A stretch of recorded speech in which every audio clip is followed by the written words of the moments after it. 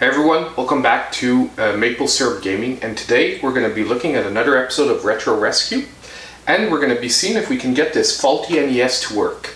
So basically I picked this up in a garage sale for 5 bucks.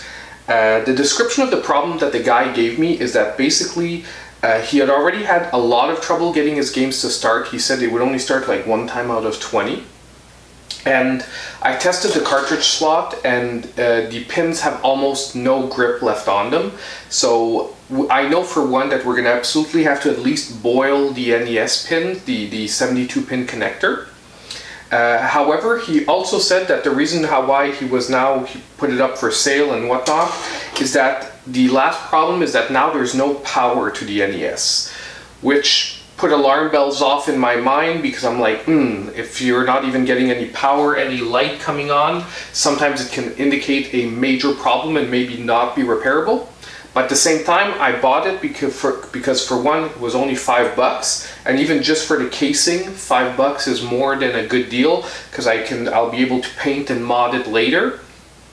But at the same time, I'm like, hey, this will make an interesting video for you guys, seeing if we can get a faulty NES to work. Now, thinking I would have a really interesting problem, I always do a few preliminary tests once I get I got the NES back home. And it turned out that uh, with the original AC adapter, uh, if we check it out, we power it on, we have nothing. However, uh, before automatically assuming that it's a problem coming from the Nintendo itself, first step is I always plug it to a known good power supply and to my huge surprise, if we plug in this known power supply, and we press the power button, we have our blinking red light. Obviously right now there's no game in it, which is why it's blinking red, but the, it does display, I tested it on a TV and we are getting the blinking screen, meaning that it is actually outputting video which is a very good sign because that means that this Nintendo will probably be repairable. It might only even need to boil the 72 pin connector, but today we're gonna take it apart, we're gonna do a full cleaning of the NES, we're gonna boil the 72 pin connector, and we're gonna see if we can get a, a you know, a working NES system out of that. And for only five bucks, if we do manage to get one of those, well, uh, even if I would need a new power supply, that's only about five to seven bucks online from Amazon. So we can get a uh, secondary, a new power supply for it really cheap. So overall, $5 for the NES, maybe $7 for a new power supply, $12 for a working toaster NES is a pretty good deal. So stay tuned. We're going to start by taking this apart, getting a look at the board inside and seeing if there's any other work we need to do uh, beyond a cleaning and uh, boiling the pins. And hopefully we'll have a working NES. So step one, let's take apart this NES. So what's interesting about the NES is there's only six screws holding it in. And this was before uh, they started using game bit screws on the consoles themselves. So you'll only need a regular Phillips head screwdriver for this one. And you basically just have to remove the six screws.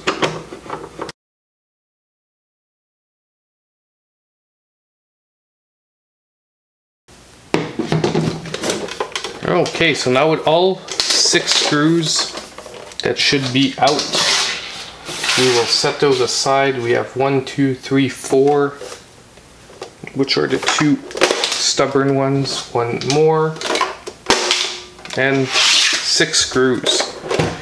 Then all we have to do is lift the top part off. Now on the inside, we're going to first have uh, one, two, three, four, five, six, seven, eight screws to remove to get the metal plate here off. So we're going to want to remove that.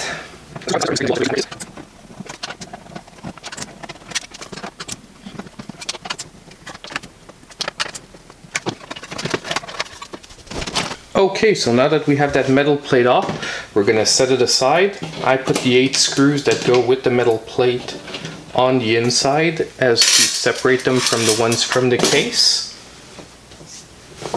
Now, this is basically the toaster part of the NES uh, that lowers the cart into the 72 pin connector which is back here. So again we're gonna have a few more screws to remove, six more basically, one, two, three, four, five, six.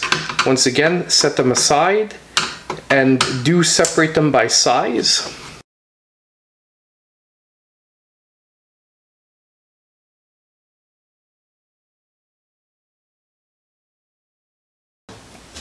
Perfect, so as I mentioned, just to show you, basically out of the three screws, you have the front and the one at the total back that are of the same size. They're like this, basically.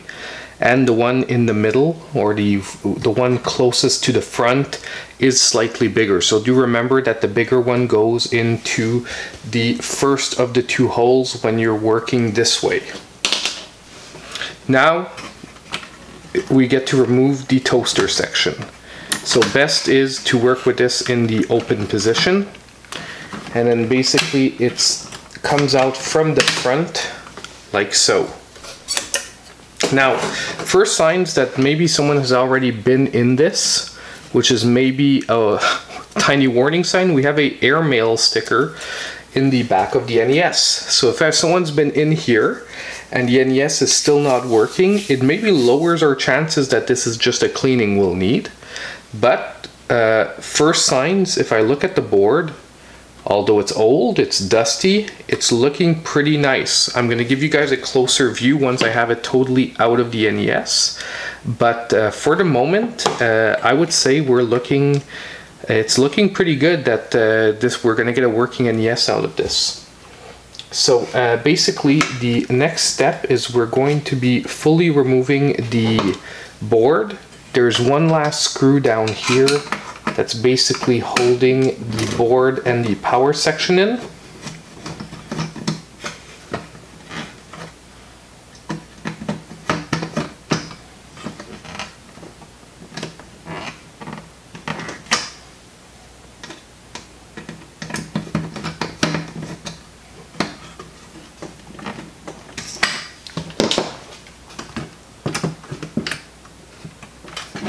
Uh, sorry, I forgot the last one here.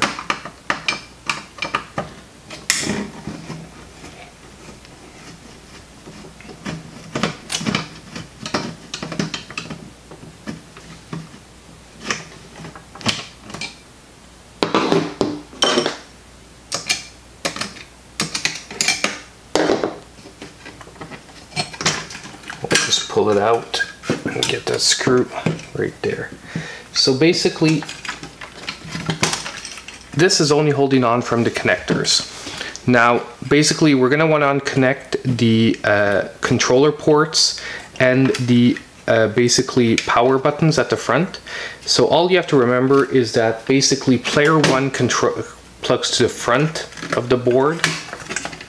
It's the same in every toaster NES and player two connects on the side of the board. Okay, and basically power the power switch connector, you cannot really make a mistake. Now, from this point on, if you, I'm gonna give a really good clean to the inner case, and honestly, if you get, you basically just have to remove these screws here to get all the metal sections out, and then you just put it in a tub of hot water. It's nothing special. Same thing for the bottom here. You're gonna basically just wanna remove this screw, these two screws right here, and these two screws under here to get your power switches out. Tub of hot water, you clean off the bottom of the shell, but we're not gonna look at that step that step in this video simply because it's just normal cleaning. It's nothing special, don't need any special techniques, you just need to get all the metal. So here we have it, and there's a metal section underneath that you can remove. Basically, set it aside. We're looking at the board. And now let's look at the bottom, see if there's anything special we can notice. Now you guys are going to be getting a close-up right now of the board.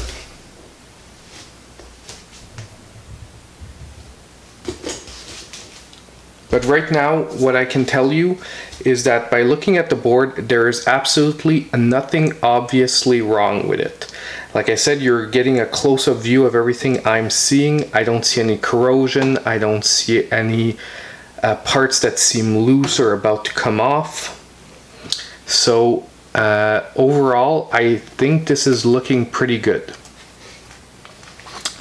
Uh, so we're just going to disconnect completely the 72 pin adapter and this is going to take a bit of force okay it's normal because it's probably been in there for quite a few years and this is your 72 pin adapter. This is what causes all the problems with the toaster version of the NES this is basically because of this system this is what you know reduces the contact with the cartridge and this was is what makes it in, uncompatible with Famicom cartridges. So this we're going to be boiling further down and we're going to be looking at that in a separate part of the video. So before we do that, let's just do a general board cleaning here for our uh, NES board. Okay, so now we're going to start with the top section of the board. So I got you guys a closer view in so that we can look a little bit better at the cleaning process, which is going to be basically a first step. We're going to clean it, we're going to boil the pin, we're going to see if we, we, we get a functioning system. If we do, all the better. If not, since there's nothing visible on the board, we're going to have to start testing components one by one, testing resistors and whatnot. But we'll look at that if it's needed. It's actually quicker, in my opinion, to do a quick clean, put it all back together, test it, see if it's working. If it is, we know we can stop there. If not, we take it apart again, because as you can see, it takes like under 10 minutes to take a Nintendo apart, and we work from there. So Number one is we take some rubbing alcohol, as usual, and we're gonna start by just dousing the board. Pretty, you wanna get a lot on there. Anyway, it doesn't damage the components since right now there's no current working through it. And since it's alcohol, it should evaporate pretty quickly. And then I'm basically gonna take a regular dish brush and you're just gonna lightly go over the whole board. You could use a toothbrush as well, which I'm going to be using later on the pins, but since I'm working with a bigger surface, to me it makes more sense to use the dish brush. Now there is a separate power section that uh, we could take apart, but we're not going to do that unless really we're having problems. I was going to do it originally when I thought the NES wasn't getting power to it, but since the light's coming on and we're getting power, I highly doubt we're going to have to take apart that section to have any problems with it. Now, um, the underside of the board, we're going to do the same thing. The only thing is you want to be very careful with these little caps here. You really don't want to rip any off or, or even bend them to weaken them. So we're to scrub, but we're to scrub very lightly. And if you're using a toothbrush, you have to be even more careful because it's really easy to unfortunately go over them and damage them. So we're just to go very lightly with the brush. The point anyway is just to work any dirt off that could be on there. And since there's no corrosion, we don't have to really focus on any spot.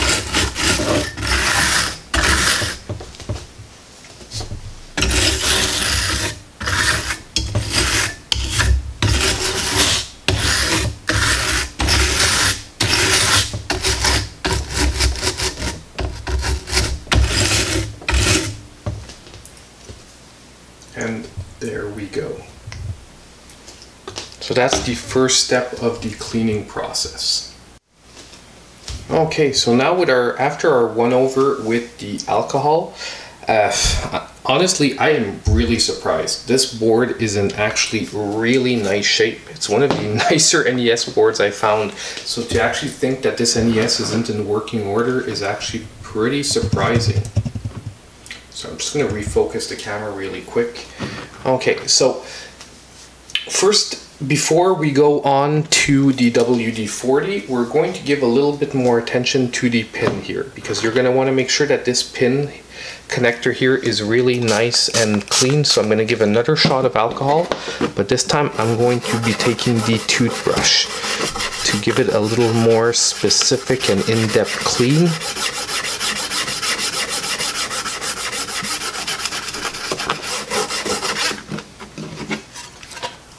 This is the section that will be contacting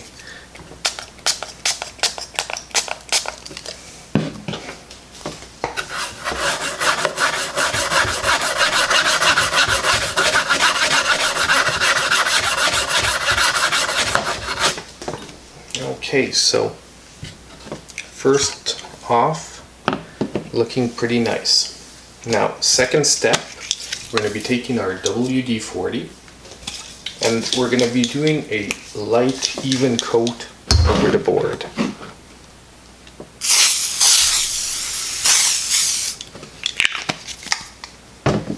And then, once again, we're going to take our cleaning brush and go lightly over.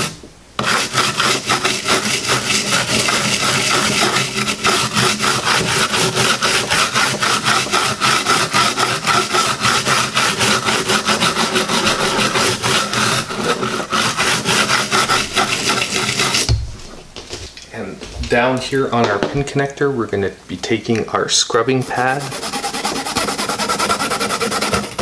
and going one over the pin connectors.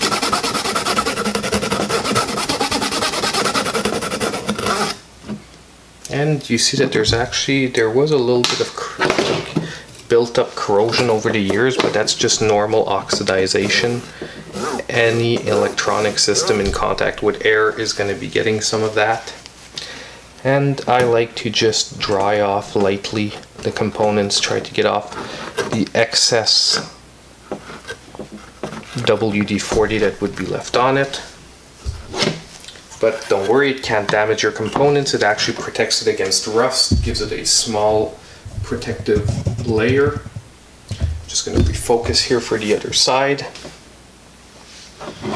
And same thing as before, we're going to do the same thing on this side. Just being a little more careful because of the different components that can be slightly more fragile.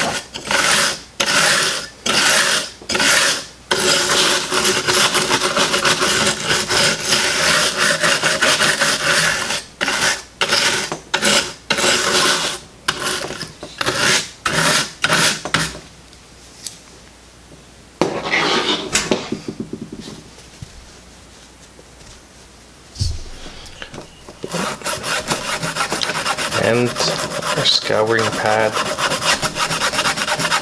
as before to focus a little bit more on the pins. And that should do it. Same thing. Just wipe it off.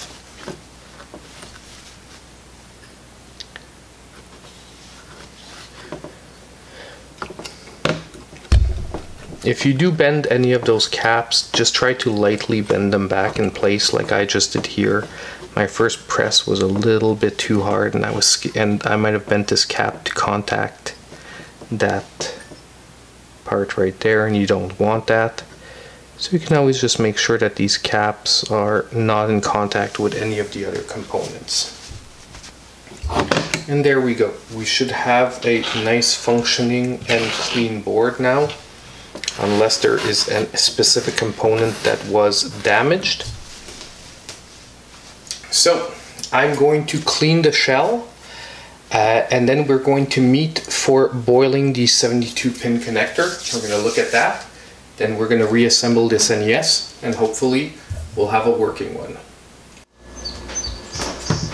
Okay, so here we are ready to boil the 72 pin connector.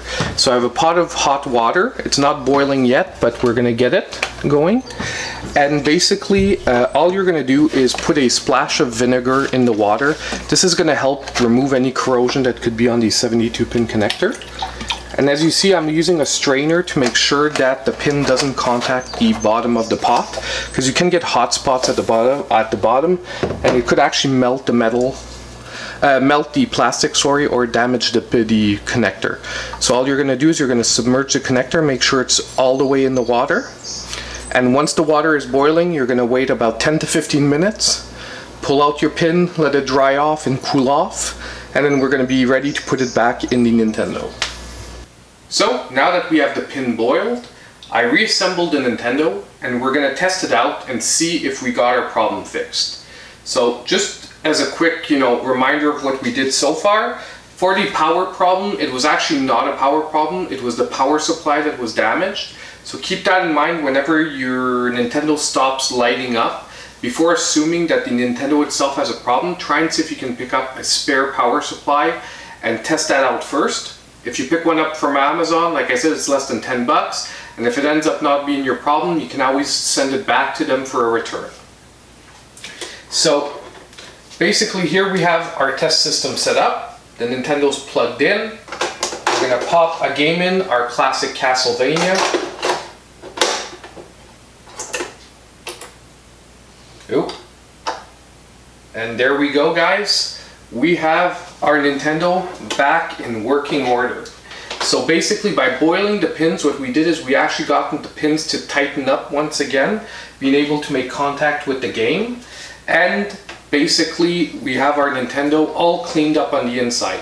So possibly there was a secondary problem that we fixed by just cleaning up the residue, but really that's the first step in a Nintendo. Before you go any further and you start messing with different parts and testing with a with with meters and whatnot to see if there's any other parts that are malfunctioning, I say you give it a good and thorough cleaning like we just went through here, and nine times out of ten, you're gonna have a functional system. And when you don't, generally you'll see physical damage or you'll see water damage on the board itself, and you'll be able to easily identify which parts aren't working. So this isn't the only Nintendo repair we're gonna do.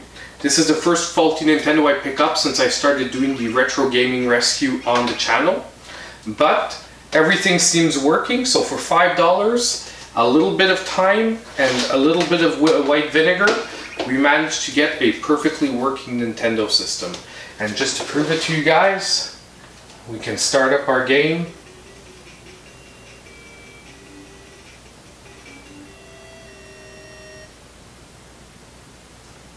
And there we go.